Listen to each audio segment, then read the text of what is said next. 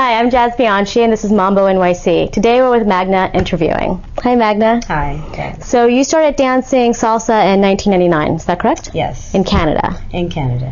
What motivated you to start dancing? Well, I actually saw the movie um, Dance with Me with Vanessa Williams and Chayanne. Ooh, Yeah. nice. Good movie at the time. Right. and I was inspired because they had a lot of salsa dance scenes in there. Right. And um, in Toronto, they had some instructors in the local area.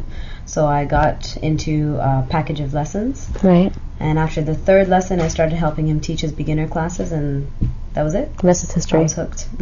So did you go out to a lot of clubs to perfect your skill, or? That's basically the only way I've learned how to dance is by social dancing. Because after that um, initial set of lessons, Right. I never took classes after that.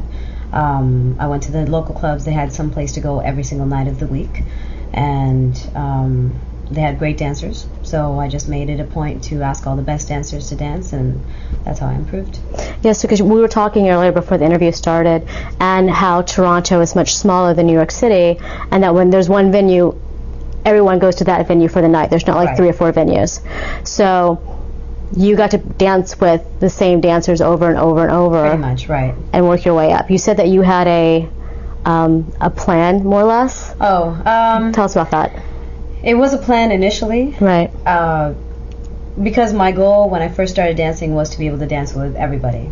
So I would always um, focus on following. Okay. I always asked the advanced dancers to dance. They rejected me sometimes, or if I wore a pretty dress, then they'd say yes. um, but my main focus was following. So after I got into following, then I got into spins because that's also part of leading and following. Right. And once I got comfortable with that, then I moved on to um, footwork, body movement, and now I dance with my emotions and just who I am and combine everything together. Now I know people, myself included, who've been working on their spins. You know, that's like what you do. You spin. So since you weren't in class, how would how would you perfect your spin and how would you adjust your body? Like how did you know what you were doing incorrectly? Um, for me, I'm very analytical, just as an individual and everything in my life. So if there's something that I don't understand, I try and figure out why it's happening the way it is. So with spins, um, when I first started, I couldn't even do a right turn without Right. losing my balance. Right. then eventually I figured out where my balance was and started pushing myself. So every time I had an opportunity to do a single spin, once I perfected it, I'd push myself to do a double. Figure out why I was getting it wrong or why it worked, and then push myself to do a triple.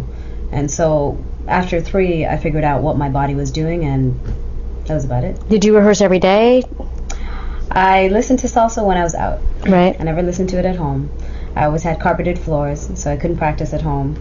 Um, all my dancing literally just it evolved in the clubs. Oh, that's Yeah. very cool. So. Very cool. And what's your dance background?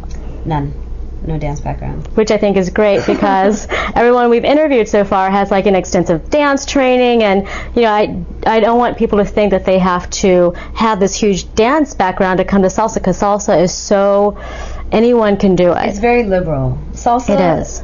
Th- that's one of the beauties of salsa. Unlike say ballroom dancing, Right. where certain certain dances need your head to be tilted at 43 degrees, you know, and make sure you step precisely at this particular space or whatever. Right. Salsa allows you to bring every dance form into it, um, and because of that, you you could really start at any age. You know, no one's expecting anything of you ex- except to have fun.